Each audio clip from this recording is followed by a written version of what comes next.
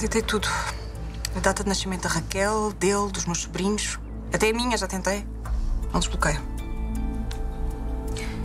E a data de nascimento também dele, sabe?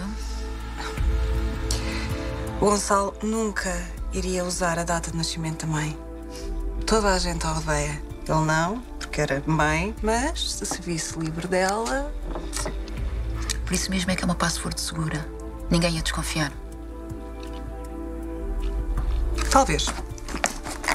Vou ligar. No fim de contas, traição para cá, traição para lá.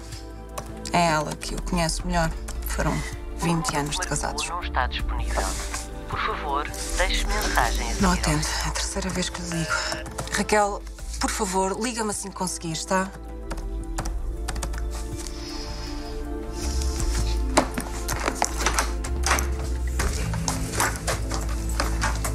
Que é que estão aqui a fazer? Encontramos o computador do Gonçalo no teu quarto.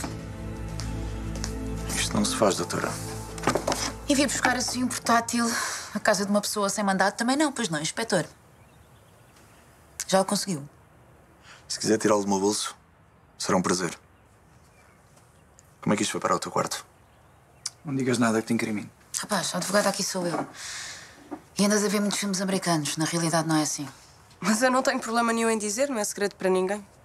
Então o Gonçalo deixava o computador comigo todos os fins de semana, até sair passe e tudo. Qual é? É Casa do Lago, tudo junto em minúsculas.